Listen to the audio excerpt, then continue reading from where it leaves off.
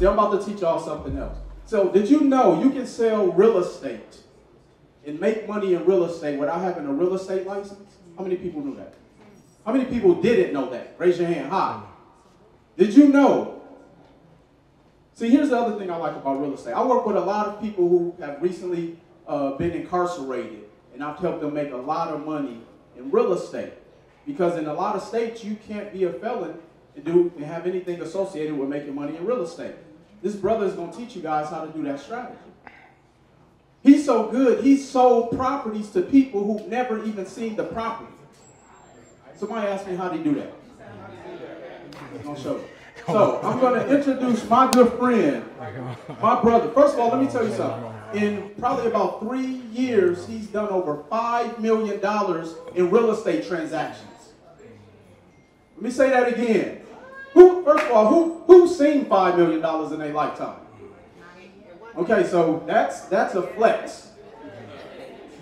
So let me say this again. In three short years, this brother's done over $5 million in transactions. So I need y'all to give another standing ovation to my good friend, my brother and business partner, Steve Philistine. What up? How's everyone doing today? Um, I want to be honest, I've had a couple of uh, shots. Um, uh, you know, when Will asked me to come up here and speak, it was more of a, I'm like, okay, well, who wants to hear my story? but um, fast forward, uh, my name is Steve Philistine. Thank you everyone for coming out. And real estate investing has actually changed my life completely. I mean, I went from having this idea and the notion that you needed a license to do certain things, and I would watch YouTube videos, but watching those videos made me say, okay, I know if they can do it, I can do it. So fast forward, um, I'll tell you guys where I'm from. I'm from Miami, Florida. My mother raised eight kids, five boys, three girls. Mama had one rule, get a job. If you got a job, you stayed out of trouble. So fast forward upon um, getting a job, it was pretty neat, and I said, not a problem, but I knew that I wanted to do more in life. So fast forward, what I did was I ended up getting into ministry. So I went down to Huntsville, Alabama, and decided to pursue a career in uh, getting into ministry to become a pastor. So I was in Huntsville. I became homeless at that time. That's a long story, making some bad decisions. Upon being homeless, I met this guy. He got out of this Mercedes and he had this really nice big ring. And I'm like, what do you do? He said, I'm an investor. And I said, okay, okay, okay. So then at that point, he recommended me to read a book called Rich Dad Poor Dad. When I read that book, Robert Kiyosaki talked about this strategy, assignment of contracts and wholesaling. And I'm the kind of person, I get curious real quick. Either one or two things are going to happen. Either this is real or I'm going to jail. so then I just kept researching and researching, and then I finally uh, decided to come back to Vegas. Uh, my mother had called me and said, Well, why don't you come live out here with me? And I said, Okay. So I came back here, I slept on a couch, I worked at a warehouse, and upon um, working at a warehouse, my older sister, she was always the one in the family, you know, during Thanksgiving dinner that makes all the food, calls everybody to come out. And I really appreciated that about her. Then she moved to Ohio, and that really got on my nerve. I don't have a problem with Ohio, by the way, but um, so fast forward, I'm out in Vegas working at a warehouse, and then at that moment, I decided to go to a workshop that was coming out here for investing by Robert Kiyosaki. So I went to that workshop and I met a lot of people. And at that point, when I was at this workshop, I was there and I started marketing. When I started marketing, I would spend about $125 a week for direct mail. And that direct mail went out. When it went out, this phone call came in. And this seller said, hey, let's meet up. I have a property, I want to get rid of it. So this property at that moment, when I went out to look at it, I, I was so broke, I didn't even have a car. They talk about driving for dollars, I was walking for dollars. Man. But one thing about me, you couldn't tell me no. I was gonna go get it. So at that moment, I went to this property, I walked over there, I met up with the seller, and I looked at the house. And he said, Do you want it or not? I said, Yeah, I'll take it. So we wrote up a contract. And little did I know that one contract right there would change my life. I ended up getting it under contract. I put it up on Craigslist and people started to call me. When they called me, the mysterious thing that happened, everybody was making offers. They claimed that they had cash. I said, ain't nobody got that much money. Come on now. I had this one guy come out. Um, he was from uh, respectfully Mexico. He had these big boots on and this nice belt and this big hat. And I looked at him. I'm like, I, I, he got a couple of dollars, but I just don't know how much. So um, they said they wanted the house. I got the house under contract for ten thousand dollars. Long story short, I resold it for 35 and I made 25 grand.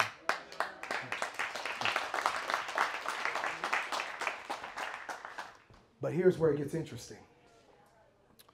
After I got that contract, I went to the bank, and keep in mind, I got off the cat bus too.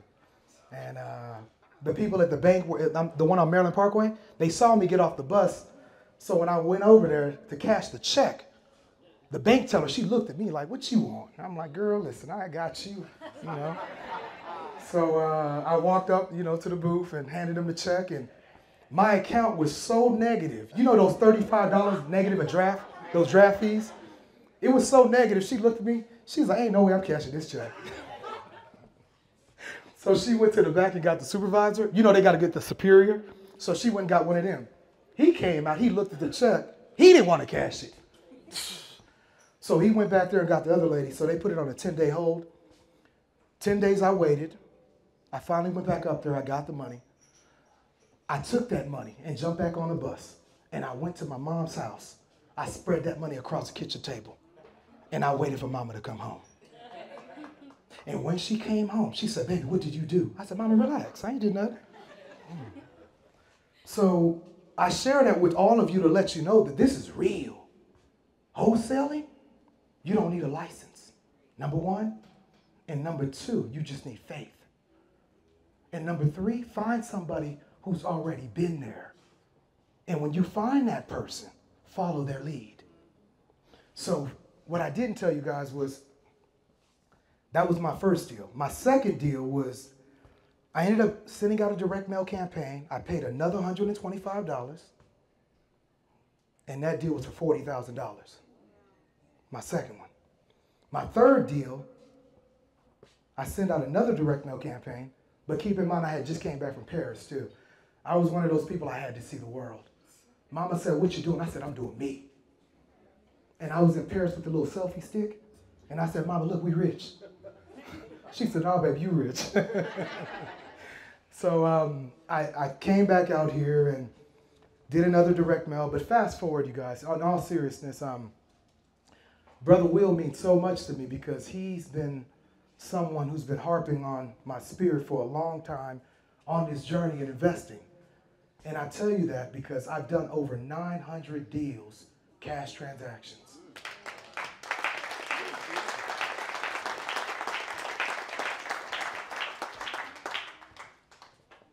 Now, when I met Brother Will, um, I must admit I was hard headed. And Brother Will talked to me about, he said, okay, you've mastered one side of real estate. What about the other? And I said, well, okay. And many, many years he stayed on me. But the one thing I will say, he never gave up on me. So I don't know if all of you in this room know who this brother is personally, but I would encourage all of you to make at least five minutes to talk to him. Just go by, shake his hand. At, at least do that before you walk out of this building today. Say, hey, Brother Will, my name is such and such. Nice to meet you. And tell him what you do. Because his mind works in such a unique way he has all these different strategies and ideas. And as you tell him where you're at in your journey and what you're going through, or the LLC that you have or don't have, his mind starts to work on your business plan. And that's what I like about him. And he's helped me see so many opportunities that I let go of. And I want to say thank you for you saying 5 million, but it was actually 10 million. Yeah. Yeah. Can I get a clap? Come on, Stephen. Can I get a clap, brother? so, I tell you guys this. Um, so, real estate, the grandfather of real estate is wholesaling. So, when you're wholesaling real estate, what wholesaling means is you're getting a property at a discounted price at a discounted price. For example, if it's worth 300,000, you're going to send out a direct mail campaign and get that property for $150,000 under contract. Now, there are certain people in that area that will purchase that contract off of you. Now, the reason that you don't need a license is because you are what you consider to be an equitable interest holder.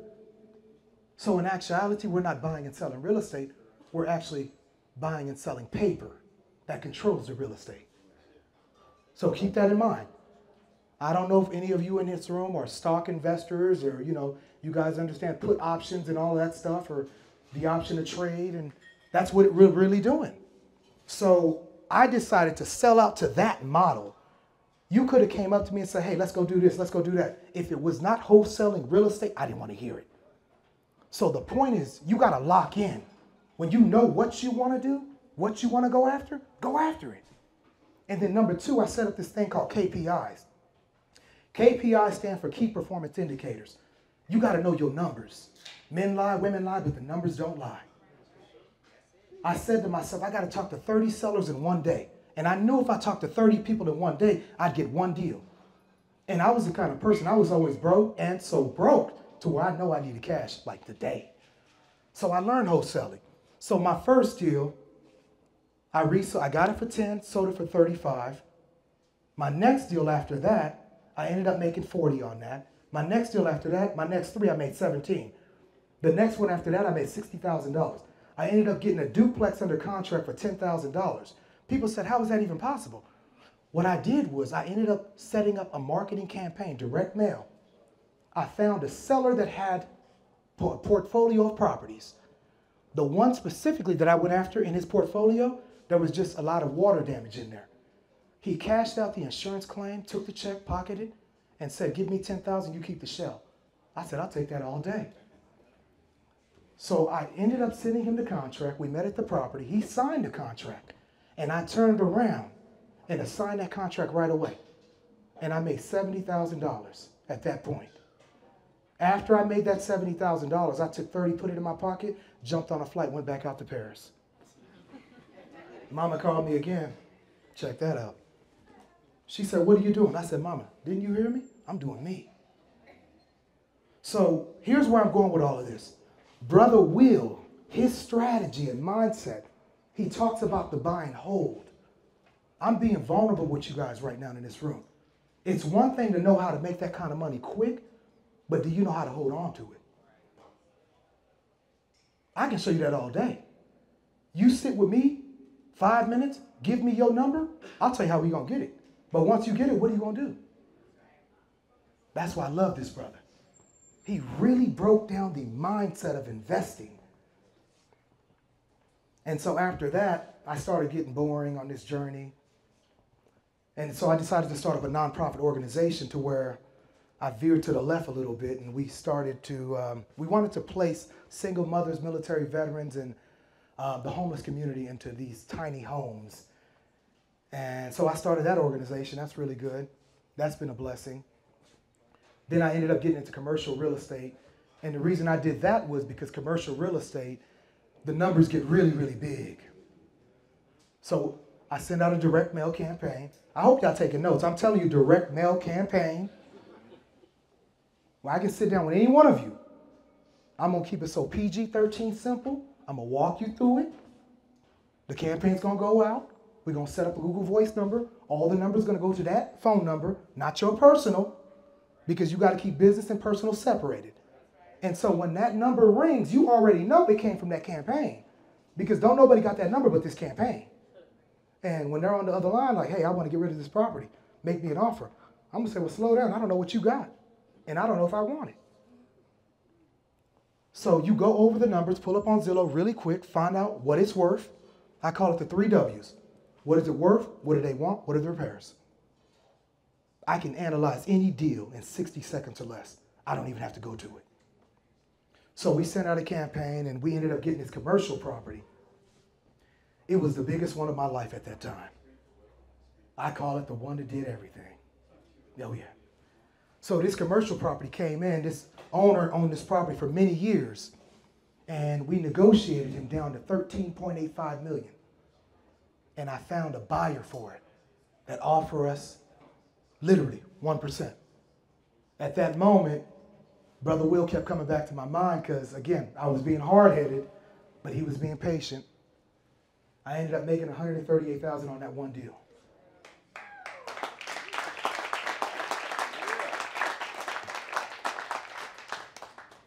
So, wholesaling is, you know, I'm not a chef, I'm not a firefighter, I'm not the best dressed guy in the world, I'm not, I can't give you relationship advice.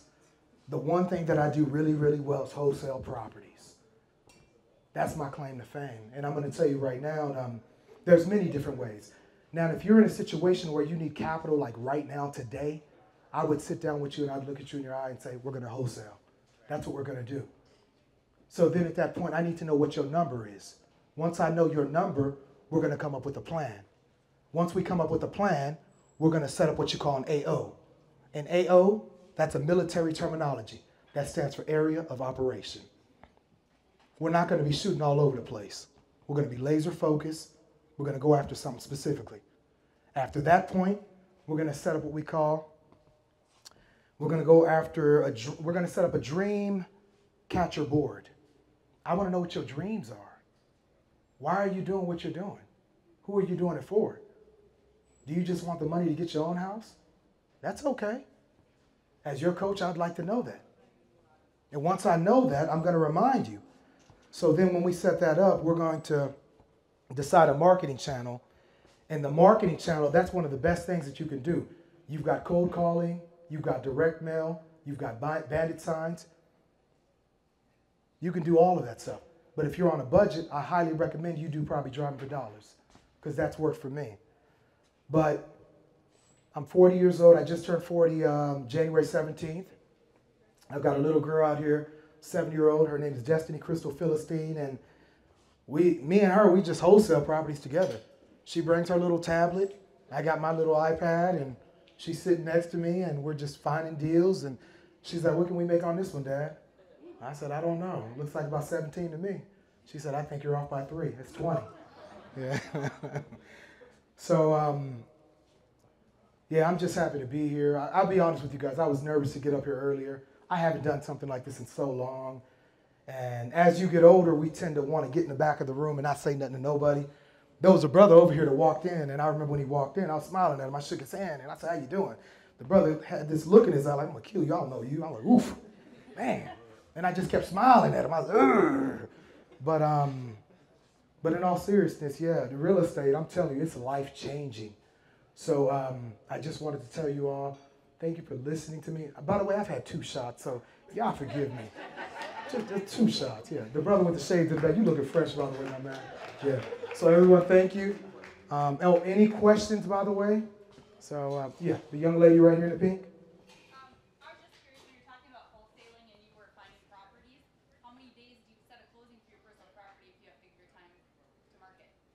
That's a very good question. So what I like to do is um, I have a confession to make.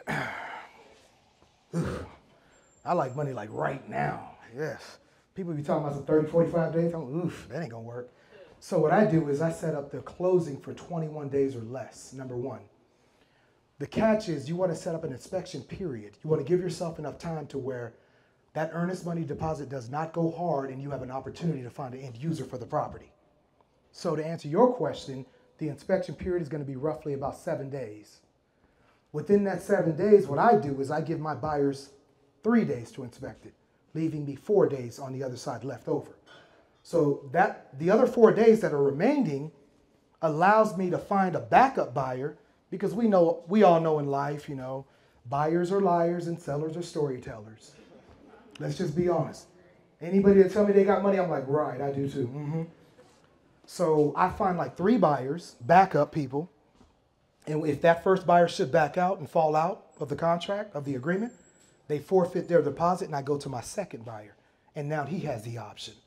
If he backs out, I go to the third buyer. But before we get to the third buyer, I call the seller out of respect and I tell the seller, here's the deal. I need a little bit more time to inspect the property. So what I'm going to do is, out of a courtesy of your time, I'm going to release upfront $2,000 of cash, and it's going to go directly to you. I'm going to sign a document that you're going to send over to the title company, and we're going to release those funds. Now you're probably thinking like, why would you give him money? Well, keep in mind we've already had two buyers. And both of those buyers put deposits down and they're both non-refundable. So I'm going to keep a percentage of that for myself because baby girl loves to get her nails done. And she's seven. You got to see her. She looks at me and I look at her, I'm like, don't do that. Mm. So that third buyer comes in and I turn around and I have them put down another deposit, giving us time to close. Hopefully that answers your question. Yes, indeed. Question over here. Oh, go ahead. I actually have two questions. What was the third W with your uh, worth and wants? Okay, the first one, what is it worth? Second one, what do they want? Third one, what are the repairs? Okay, and then do you mind sharing the name of your nonprofit? Oh, the Destiny Program. Yeah. So we're based out of Las Vegas, and great question. Um, we're based out of here, Las Vegas, and um, we're just a nonprofit. We believe in affordable housing. That's it. It's simple. And my trick is for affordable housing was I ended up getting into commercial real estate wholesaling because you make bigger fees, and I would turn around, take a percentage of my fees, and allocate it over to my nonprofit. I'm sorry. Let's back up. I would make a donation. Okay. All right. Next question. Go ahead, brother. Nice hat, by the way, man. You over here looking all fresh. Let's give him a hand. Come on, man. Come on, come on, come on, come on. Go ahead, brother. So what's going on, brother? My name is Aaron. Nice to meet you, Aaron. My question is, what are some resources? I believe you said it already. But what are some resources to be able to get the, uh, the contract out of your hands as fast as possible, and pretty much spread it out to everybody else, uh, or to the buyers, possible buyers? That's a very good question. Thank you. Um, the res- one of the resources that I like to use, and again, keep in mind, I was starting from a position of being broke. So when I hear people say, "Well, I can't do that," you had money. I don't want to hear it. I didn't have a car. I was on the couch. Nobody would give me a date. I would look. Oh, let me tell you a story before I answer that. Oh my God! I remember I was going to this one church over on the west side, and this young lady, pretty. I said, man. And she invited me out to go on a date with her. Brother, I was so broke, I, I, I ended up getting to the, the site at the date before she did. So I'm over there, you know, positioned nice, you know, looking all fresh, you know. So she came up, we went to the bowling alley. And at the end of the date, she was like, well, okay, well, you have a good night. And I didn't have a car. Now, I was staying over at my mom's house. So then she ended up asking me, like, well, where's your car? I said, well, you know, my sister has a car. She's like, okay, okay, you want me to take you home? I said, well, you don't have to, but I'll take it. So she ended up taking me home, and and I text my sister really quick. I said, keep the door open, whatever you do, you don't lock it. So she dropped me off, and I'm getting out of the car. She was driving a Range Rover too at the time, but thank God I got my own Range Rover now. Oh, yeah, it's a good one. so then I got out of the car, and as I was heading to the door, I'm looking at her like, like, pull off, gone, bye, go, go, go. She wouldn't leave, you know. So I get to the door, and you know your heart is racing. I, I'm praying to God my sister left the door open, and then I turn the knob and it's locked, and I'm like, God, oh. So I looked up, you know, I did one of these, like I touched, you know, for the keys, I was like this, that little pop. I did that. She wasn't buying it. Man, she never called me again, brother. Never called me again. But you know what happened though? Check how God works out. I was working out at LVAC and she had seen me. This was literally about a year ago. And she saw me and we started talking. She said, What do you do now? I said, I'm a real estate investor. She said, Is that right? I said, Yeah, that's right. Mm-hmm. Yes, sir. Oh, yeah.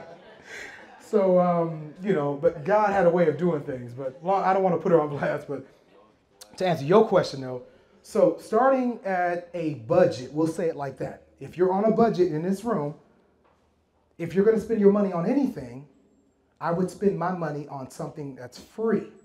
You want to go to Google Voice, create a number. Keep it separate from your personal cell phone. Number one. Number two, there's a website that's called fiverr.com. You go on fiverr.com, every that's F I V E R R.com. Everything is five bucks on there. Sometimes they want to get a little pricey and try to charge you all these other fees. I don't want to do it. I'm on a budget. So that website, they will help you customize and edit documents. I'm answering your question, $5. And if you ain't got that, then, then let us pray. Yeah. So now you got a phone number. You have somebody do the contracts for you. Now, the direct mail, I like to personally go to Walmart. I get envelopes and yellow letters, and you're going to handwrite to that seller. Once you handwrite to that seller, you're going to send that letter to their mailing address of their personal residency. What I tell people is before you send that letter out, you want to make sure that the property that you're sending the letter to is their personal residence. And I don't do any LLCs, number one. I won't send them out to any S corporations. It has to be in a personal seller's name. So when you're looking at the information on public records, if it does not say John Smith or Susan or their personal name, they're not getting a letter from me. That's how you do it. If you want to talk more, brother, let's talk after this. Yeah. All right. Any other questions? I'll take one more question. Go ahead. That's a very good question. So, um, door knocking is a very good strategy, and I've done that before. There was this one deal that we found door knocking. Um, this gentleman, older gentleman, 87 years old, he had a house that sat on pretty much over an acre of a lot. And the house that sat on that acre, next door, that vacant land, you could actually subdivide the lots, creating a whole nother property. And it was in a neighborhood to where you could sell both properties for a million dollars each. So what you want to do is you want to pick an area, specifically, I would say an older area, part of the city. I don't know where you're based out of. We can talk about that after. And you want to find something with a lot of equity. And you want to develop this eye, what I call it the eye of the tiger of finding value.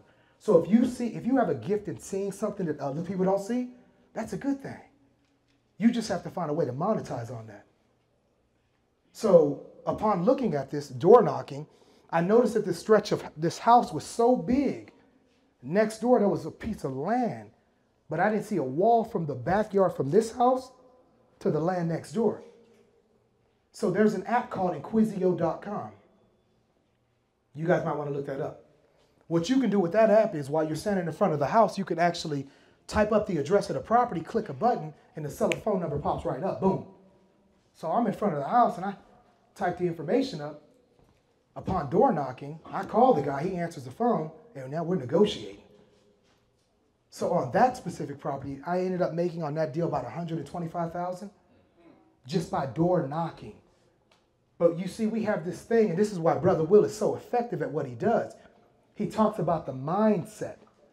You can have the right idea with a person with the wrong mindset, and I can't help you. If you think I'm lying, then I'm just lying. I can't help you. You got it all figured out. But then you jump in the car with me, we go to the bank, and I pull out 50 racks. You're like, hold up, what, what, what's this? I said, brother, that's called gumbo. Okay, I see. I don't know what Southern food is. It's cool. I, will talk about it later. But um, so yeah, door knocking works, and it's very effective, and you don't have to spend any money at it. The only thing you have to spend money on is Inquisio.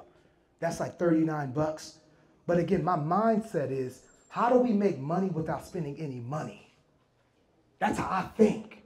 Everybody want to save money this, money that, spend here, spend there. I don't want to do that.